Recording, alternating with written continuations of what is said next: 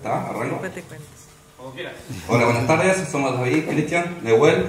Bueno, en la actualidad, como todos saben, hay un gran desperdicio de desechos plásticos, principalmente en el ámbito cotidiano, en la agroindustria, en las industrias. Esos desechos muchas veces quedan estancados en lugares porque no se reutilizan y contaminan el medio ambiente. Además, como todos saben, las impresoras 3D han pegado un boom muy grande en lo que es eh, la cultura. Se utilizan tanto en el ámbito educativo, muchas escuelas tienen impresoras 3D, se utiliza también mucho en, en, como es, en la salud, en la parte de la salud, diseñando prótesis, eh, como también diseñando objetos, diseñadores lo utilizan para diseñar objetos.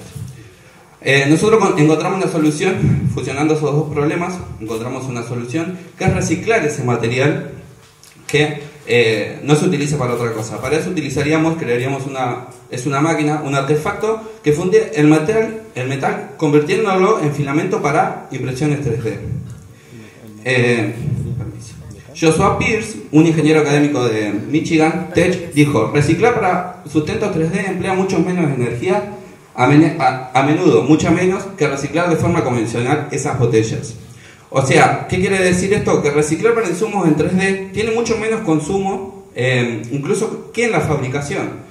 Hoy por hoy nosotros tendríamos, eh, la competencia principal que tenemos viene de afuera. Hoy los insumos escasean muchísimo en lo que es Argentina, porque la mayoría es importado. Y el problema que hay es el tema del dólar. Incluso hoy no se están consiguiendo. Hay solamente tres empresas en Argentina que se dedican a vender esos insumos, pero esas empresas no alcanzan a cubrir toda la demanda del país.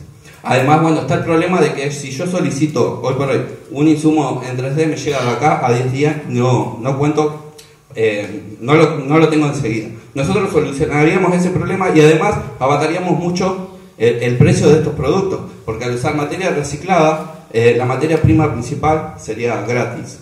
Otra de las ventajas que tenemos es, como nos dijo una persona que está acá, yo sinceramente les pagaría para que ustedes se lleven eh, los desechos que yo tengo en el patio.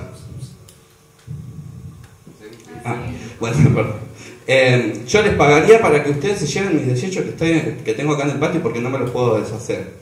Entonces, eh, cubrimos dos necesidades muy grandes que hay acá. Y además, el, auge de las impresoras 3D va a seguir creciendo. Y va a seguir creciendo mucho. Acá, sin darnos cuenta, entre nosotros ya cumplimos cinco impresoras, sin conocernos nosotros, cinco impresoras 3D. Y eh, aumentar también un poco lo que es tecnología en el ámbito de la Pampa y que se, eh, ¿cómo es? Que se incentive más en las escuelas también, porque muchas veces el no contar con los materiales o con los recursos eh, es como que desanima esa- esos incentivos.